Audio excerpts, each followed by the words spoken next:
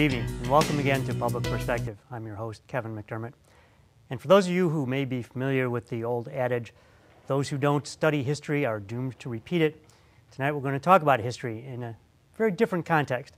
Our guest tonight is the president of Don't Know Much About History, Mr. Phil Lauricella. Phil, welcome to the show. Thank you for having me. Well, let's start with some basic stuff. What is the company? It, in fact, it is a, a for profit company, but uh, what's it all about? What is Don't Know Much About History? Don't Know Much About History was a startup in order to bring living history into classrooms throughout the area. While most students and teachers do a really good job in history, they don't have the time, especially the teachers. Um, the time for what? I mean, they, they teach history. So they teach history, but they, they can't really get through it. Uh, they can't get into the minutiae of it. They cover names and dates and places, but there's no real live person involved. And in order to bring it alive to them, to show students that these are people just like they are, who lived real, real normal real lives, lives right? then they need to see them and they need to experience them. And this was an idea that was just sprung out, and we said, let's give this a try. So the the the object, me, the object of this is to bring the history to life in, in, in a, a, kind of reenactment? Is that uh, what you do when you bring it into the classrooms? Is there sort of a, a stage play, or how does this work? In a sense. Um, don't know much about history is a cooperative effort between multiple performers who come out, and everybody has their own different style. Uh, my style is what we call first person, where I actually physically become the person. Uh, others uh, produce in third person, which is more or less a museum walk Hmm. Uh, here's an artifact, here's how this artifact works, here's how it relates to what you're studying. And we try not to limit our presenters in any way, shape, or form. We let them feel free to do what they do, and hopefully the students, the teachers, and even adult audiences come away with a little more knowledge than they had before. Now, what I think is interesting, we were talking before the show, and you are not a historian by trade. And in fact, professionally, you started out much differently from this. So, how did you come to do history? Well, basically, um, my degree is in corporation finance. Um, I was 25 years as a corporate credit manager. And one day during a former recession, um, the door closed and I found myself looking for something to do. I'd always loved history. Um, every war movie, John Wayne movie, historical documentary, anything I could get my hands on, I watched. Um, I liked the touch and the feel of artifacts. And so I decided that at that time, I would take a leap and I would open a store in Geneva, which was called Don't Know Much About History. It was a history store, and it had everything from art and murals and toy soldiering and uniforms and artifacts that people could come in and purchase and bring back to their homes and, and set up and use in that way. Uh, the store lasted about 10 years, and it folded in a sense because this presentation, this living history, really started to take off. Um, it so was a conduit. Have, rather than have people come in and just simply browse and see it, mm-hmm. you essentially took the history out to them instead. Exactly. Uh, teachers would come in and they'd say, Boy, we really wish we could have somebody come to the classroom and speak. And then the hand went up, and I said, I can do that. And we started to build on this. And at first, it was mainly the American Civil War because that's was my major interest at the time. But since it has branched out, um, we've done the American Revolution, we've done Second World War, we have done uh, Korean War. We do a program called War Letters, uh, which recently was shown live at Cantigny uh, for the Veterans uh, Day mm-hmm. programs. Um, some of our people also do medieval, and uh, that, that's very interesting. But you would not consider yourself, or maybe you would, uh, would you consider yourself and, and, your group reenactors in the sense that, that we see where people will go out and reenact a particular battle of the Civil War or the Revolutionary War? Is that a, a, description that fits your group? I think that we are presenters who are also reenactors. Um, reenacting is a very personal, self absorbed profession. Um, most people who do reenacting are not there for the crowds. They're there because they want to learn something. They want to live that time. They want to understand the people who went through it. That a crowd is there and is viewing them is secondary to the point. Whereas living history presenters are there to play to the people, to try and get a point directly mm-hmm. across to them. Um, my doing Jefferson is, is a perfect point in view. We want people to understand Thomas Jefferson. And as I try to explain to most people, uh, especially schools, that the Thomas Jefferson I portray is the actual Thomas Jefferson, not somebody who was on Liberty's Kids cartoon show. Uh, Thomas Jefferson was the Abbie Hoffman of the 1700s. He was a radical. He was, a an wild extreme guy. radical. And yet today we revere him as one of the founders of the country. We've, we've lost sight that you can have divergence point of view, and yet we can still come together as a country and work together. And I'll, I'll come back to Jefferson in, in a moment, but I, I just wanted to point out that I think with our, our opening shot here, if people were wondering what it is that's hanging behind you, that is in fact uh, your Jefferson outfit, right? This is what is called a great coat. Uh, the great coat was the standard dress, uh, like a businessman's coat today, that any gentleman would have worn. Uh, it was personally crafted. Most gentlemen had two. Uh, they wore them until they were dirty, and then they were cleaned. It didn't matter if they were threadbare, just so long as they were clean. Uh, and most gentlemen would dress in this manner with a waistcoat. Um, a gentleman wore a blouse. He didn't wear a shirt, he wore a blouse. Uh, he wore breeched trousers, um, what today would be called knickers, uh, silk hosiery, and buckle shoes. Um, for the most part, most Americans didn't wear a wig. And, and I would think that the, the wardrobe was actually very limited. Uh, people in that era didn't own a lot of clothes, I would guess. Right, exactly. The reason for it, for so many layers, is layering. They didn't have central heating as we know it today. And so you put on when you were cold and you took off when you were warm. And so it was a very useful system for them. Gee, something we might take a lesson from even today in the age of energy conservation, just put on another layer. Exactly. Exactly. Uh, so, just uh, when you get these clothes, you mentioned that in the time period you're representing, these were custom made. So, as a as someone who presents this Living History, I mean, how do you get these clothes? Do you find them? You, you wouldn't go down to Walmart and find that hanging on the rack. No, certainly. not at all. Um, there are corporations, what- which we call sutlers, who do produce different period style clothing. Um, in this case, in this jacket, this was homemade. Uh, this was made in my home, and uh, most of my equipment is homemade because it would have been homemade during that time. Um, there weren't department stores. You couldn't go and buy a suit off the rack. You had to be tailored for it, and it cost a lot of money. So basically, every gentleman could afford these things. The common people would buy homespun, and the homespun would be cut into something that they could wear on a daily basis.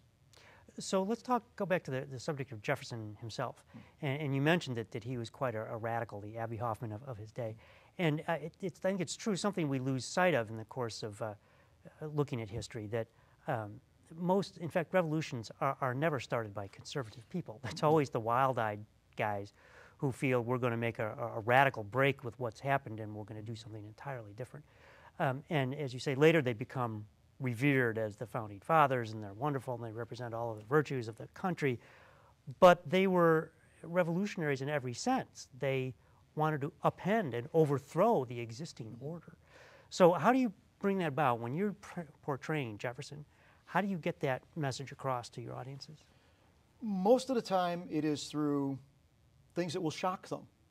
Such Um, as? For example, um, the Pledge of Allegiance today. Uh, it was instituted in the early 1900s and it flowed through and things were added to it in the interim. But Jefferson, through reading his works, would never have approved of a Pledge of Allegiance And why not? because a pledge is an oath. It's a ritual. If you don't believe in the ritual, well, then it's absolutely meaningless to you. And for Jefferson's part, he believed in a total separation between the church and the state. Uh, he wrote that to the Danbury Baptists in 1803. Um, he liked a little revolution now and then. If we had taken an oath of allegiance to George III, would that have stopped us from dumping the tea into Boston Harbor or firing the shots at Lexington and Concord? Of course it wouldn't. So Well, some people it, it would have, but it, it's a ritual. It- it's a meaningless concept to him. Um, plus, we use certain things like one nation indivisible. In his eyes, that was a scandalous thing. And in fact, we were a very divided nation during the Civil War and have been at various other times. Well, not quite that seriously. But yes, indivisibil- indivisibility is something that was not taken for granted at all until after the Civil War. Exactly. Um, and during Jefferson's own time as president, today we, we consider ourselves red states or blue states. Well, back then there was just as much sectionalism between the Democratic Republican South and the Federalist North. And there was talk of secession even during Jefferson's time. Uh, in fact, when Jefferson was somewhat elected president, because he had to go through 36 votes in Congress in order to elect him, uh, the governors of Pennsylvania and Virginia were more organizing the militias to march into Washington to take the election for Jefferson. So if we think today that our elections are somewhat Raucous. volatile, they're nowhere near what Mr. Jefferson went through. And in fact, if we think about what, the way Congress operated, uh, you know, we think about the gridlock in Congress and the lack of respect and the people don't work together. But 100 years ago, or 150 or 200 years ago, uh, Congress was a pretty wild place, was Exactly. it not? Exactly. The, um, the House of Representatives was meant by the founding fathers to take on the oddities and the eccentricities of the people. It was very close to the people, which exactly is what is happening today. Whereas the Senate was the second secretion of the national will. It was more refined, it was more stable. And so you went through the law at the House of Representatives level, and it came out a little bit crazy. And then it removed to the Senate, and the Senate refined it and distilled it down to what law they thought should be. And then senators, I think many Americans may still not know that senators were not always popularly elected. They Oh. were appointed by the state legislatures. Exactly. Uh, the House of Representatives was elected by the popular vote of the constituency. The Senate was elected by the legislature of the state in which the senators would come from. And so, therefore, it was a, a level that removed itself from the people. Um, it, was, it was thought that the people couldn't be trusted. Jefferson thought the opposite. He was the opposite of his antithesis, Alexander Hamilton, who, although born a illegitimate child in the Bahamas, came to represent the ruling class, the high, the well born, the elite. Whereas Jefferson, a pseudo aristocrat, tended to throw in his lot with the people. He trusted the people. And because of this, you have two divergent groups totally splitting the Federalists under Hamilton, the Democratic Republicans under Jefferson, and frankly, they hated each other. And so, how do we see that play out in today? One of the things I think that's most interesting about history, and the fact that if you don't study it, you're doomed to repeat it. How does that play out today? I mean, today we see, the, uh, in my mind, a somewhat similar uh, division between the, the, those who represent the interests of the wealthy and the elite, and those who, who say they represent the interests of the rest of America. There's the 1%, the 99%. There's a lot of different ways of looking at it. But are these carryovers? Are these recurrences of the Oh, themes? yes. I mean, it, it's very constant throughout American history. Um, you had obviously the Democratic Republicans and the Federalists in that time, which then became the Whigs and the Democrats during the middle years of the 1800s, which finally gave way to the black Republicans under Lincoln against the Democrats. Who were and the, conservatives of the time? it- right? And the power base shifted from the north to the south on one party and the south to the north on the other party. Then after the war, the southern states became solidly Democratic and the northern states were solidly Republican. And today, it is exactly the, the opposite. opposite. So the polls switch on occasion. And it's just a matter of things. Um, So what I think is interesting about that is that people then, uh, particularly today, come to identify parties as, as embodying certain ideas and certain uh, virtues or ideologies. And in fact, in, throughout history, that's not necessarily true. The ideologies may exist throughout centuries, but as you say, they shift, they move from party to party. Um, is that a um, is that uniquely American, or do we see that in other countries? Well, you see it in other countries. You definitely see it in other countries. Um, but not as radically as here, because we're holden to the people here. Um, it doesn't matter whether it's a rich person, a poor person, or a person in the middle. Everyone has their own idea, and given the freedoms that we earned by inherent design, they were not given to us by the government, they were not promoted by the government, they were given to us as inherent natural right. Well, we, we the people claimed those rights, not asking them to be given. We Exactly. asserted the rights existed. Government doesn't give you rights. That, well, rights are given you. Certainly, the American position is, is Exactly. that, right? That gives every man a say in the government. And when every man is enveloped in the government, the government performs the way people want them to. Unfortunately, we've become so polarized today um, that that has started to move away. It's almost like a quantum shift. Um, we've, we've got two parties who have divergent views of what, the way the nation should be going, And the role And- of government. and they won't talk to each other. The role of government is a very simple one. The role of government is to, especially the federal government, is to handle foreign affairs. The federal government, in the eyes of the founders, and even through Mr. Lincoln's own time before Mr. Lincoln became a stolid federalist, were basically that the states had the rights and the states were to take care of the people. The federal government was to handle foreign affairs. But wasn't the federal government also sort of, though, the arbiter among states? That, uh, and we saw this, I think, later manifested in the interstate commerce Mm-hmm. uh, laws, where the federal government stepped in to say, well, look, we're, we're going to make some continuity here so that these states can actually operate with each other. Um, as many students may not know, I mean, originally each state had its own currency, for example, um, and that, that made trade and interaction much harder. So, was the original idea of the federal government to help facilitate that as well, or are those later developments? They're later developments because even though Congress might pass a law on the federal level, until the time of the American Civil War, states were free to ignore those laws. They could choose to ignore it or choose to accept it in any way that, cho- that they wanted to. And so the theory of nullification came about. Um, it was produced. Nullification meaning to ignore we could. Nullify, nullify the law right. in our state. We don't have to listen to it. And all of this was the fault of the American Supreme Court. Uh, this came about during Jefferson's term under a decision called Marbury versus Madison. In, it's a very it's a famous case. It's famous, but it's, it's, it's not really an important case. The case was basically about judicial appointments, that Jefferson refused to honor Adams' judicial appointments because Adams made them at the 11th hour, hoping to fill the judgeships with people that were close to him. And Jefferson ignored this. And he ordered uh, James Madison not to deliver the commissions, which they were then sued for. But the most important thing that came out of the case was not whether a judge was going to be seated. It was basically at the end when John Marshall said that the Supreme Court has the right to review all laws to decide whether they are constitutional or not. It's not ensconced in the Constitution. You can read the Constitution, there's no judicial review mentioned. John Marshall was the progenitor of this law, of this custom. He got it from English common law, and from other codes and said that because we are a country that follows mainly the English law, therefore the Supreme Court has this right. Well, today it's.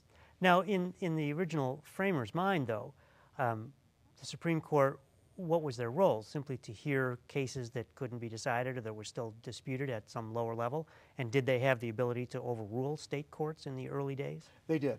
They were the final court. They were not there to pronounce basic law uh, like we do today, where a law will pass Congress and then the Supreme Court will look at it if it's been challenged. Basically, if you were to sue me or the president were to sue a stevedore, um, it would go through the courts and wind up in the Supreme Court, and the Supreme Court's decision was final. That's why the Supreme Court existed. And the problem with the Supreme Court then, as is now, is that they serve for life and they're beholden to no one. Well, that also would be seen as one of the advantages of the court that they're they're not swayed by political influence, or at least in theory, mm-hmm. they're not swayed by any kind of popular opinion or political influence because they don't have to worry about reelection, they don't have to worry about reappointment, that they they feel secure. Um, but I will also say that, uh, as I understand it, the Supreme Court justices were generally appointed very late in life, and mm-hmm. they didn't serve very long. 10, 12 years was about the limit, which we don't see today. No. Right? Um, if, you were if you were appointed to the Supreme Court in Jefferson or even Lincoln's time, and you were 40, you might live 10 years, and then you would be replaced.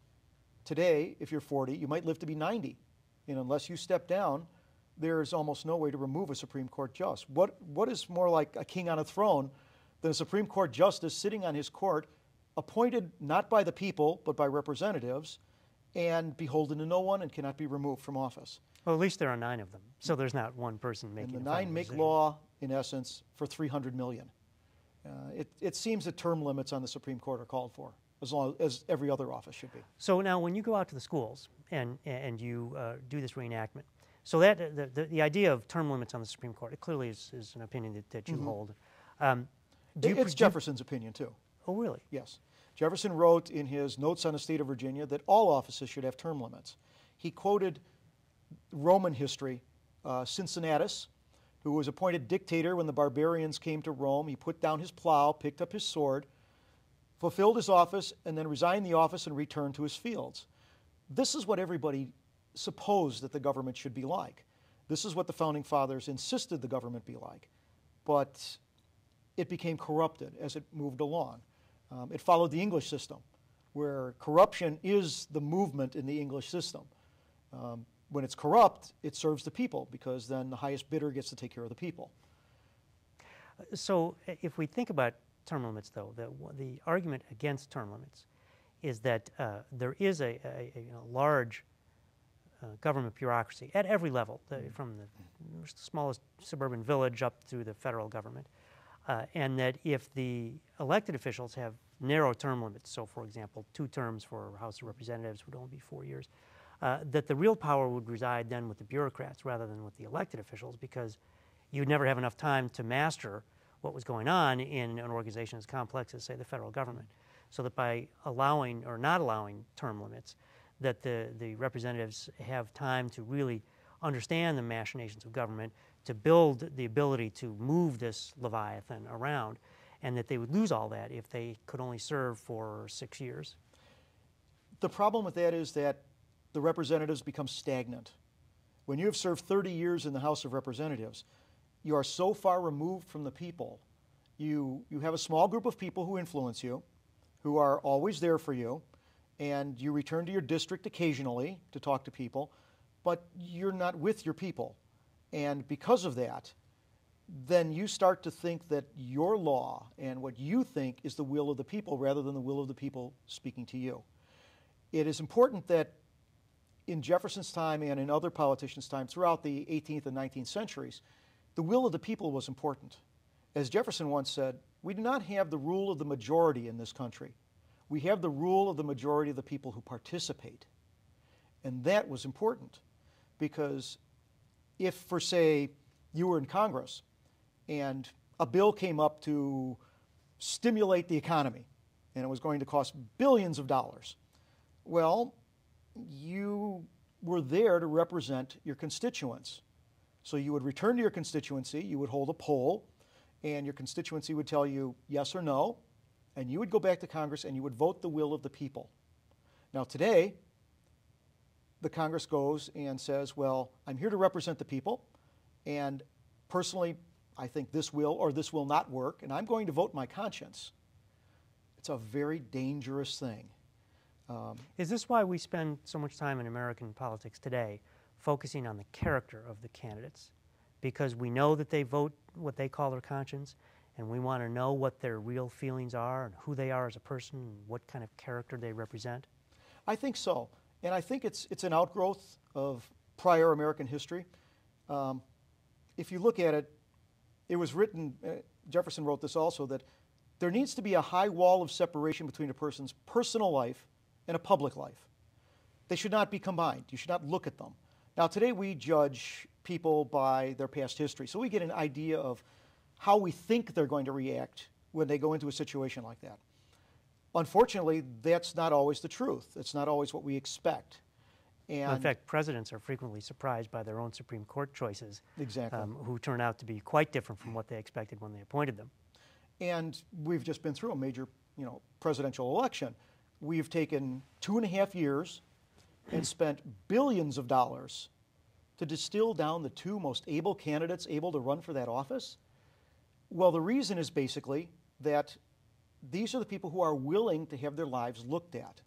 With unbelievable scrutiny and detail. right? Exactly. Nothing is hidden in the end. Exactly. Think of if you were running for a public office, the one thing that you would not want known on Larry King Live, knowing that it was going to come out. It'll be there, right. Most rational people would say, I'm. And in fact, many to do people do, in fact, bow out of public service for that very reason. Exactly. So, how would we change that today? Uh, how could we get back, or should we even get back, to uh, a the, the situation you described where a representative will go back and poll the people, especially now given that a, a, a member of the House of Representatives typically now represents, what, I think 800,000 800,000 people. uh, people. So, um, how do you get the feeling from 800,000 people? You can't just knock on doors or pick up the phone. Well, see, it's impossible for an individual, individual representative to do that. That's why they have large staffs. But the large staffs are more concerned with administrative work than they are with touching hands with the people. Um, I know that in my district out here in western Illinois, um, I don't think I've ever seen anyone from my representative's office ever call on my home, knock on the door and say, hey, look, we've got something going, or call me and say, we need your opinion on something. Could we use technology today with social media and the internet? I think it's coming. I think that this is something that Jefferson certainly would have approved of. Think about this. Um, we are no longer a democracy. We're a, re- we're a republic. We are a representative republic. Democracy ended a long time ago, but we can get back to the true Greek ideal Where, of every, democracy. where everyone votes on is- the issues at hand. and we have the means. We have the internet now. And I know that the internet now is known mainly for its deficiencies and its lack of security, but those situations could be resolved. And some evening, sitting in your home, the president may come on the television and say, uh, We would like to get the opinion of the populace. Uh, we find it necessary to invade Canada. Please go to your computers and cast your vote as to whether we should do this or not. Of course, being a technologist myself, which is my professional background, um, and having spent many years in the uh, uh, elections arena, um, I would say that uh, voting via the internet is probably, is to my mind, the end of democracy because I don't think you could ever protect it from hacking. But that's a story. That's a topic for another show altogether. Let me come back to, because we only have a, a few minutes left. I want to come back to what you do with the schools and how a school would, if they wanted you to come in and, pres and represent uh, Jefferson or do a debate, as I know you did earlier tonight, um, against uh, uh, an Abe Lincoln figure. Um, how would a school contact you and what would they do to, to ta- talk with you? And, Well, basically, uh, we have a website. It's www.ushistoryrocks.org. and I think we've been showing that throughout the Okay. shows. My telephone number is available through the website. Uh, email is available through the website. And we encourage the teacher or the representative of the school to call us. Because they can, can they work with you on the content and what Oh, they want definitely. presented? So it's all tailor made for the individual. If they schools, happen to be studying a certain portion of the American Civil War, we may have a representative who can explain that in greater detail. Um, they can do single presenter, they can do a half day group presentation, they can do a full day group presentation. Um, we tend to do these things in a round robin setup whereby each presenter does three at least hour long presentations uh, to the students, and the students rotate between each of these stations so that they're constantly moving, we're not. But they get a little history on both sides. Um, if we're talking the Civil War, we'll have both a Union and, And- a Confederate soldier. And do the kids love it? oh my gosh, yes. Um, Well, on that note, then, we're out of time. Oh. So um, history has continued past as we've been talking. So we'll have to come back and talk. Thank you so much for coming and joining us. I appreciate your time. it's a wonderful subject, and I hope you'll come back and talk to us further in the future. Thank you, I'd love to. And thank you for joining us once again on Public Perspective. I'm your host, Kevin McDermott.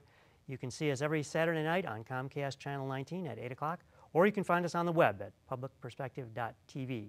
So until next time, thank you and good night.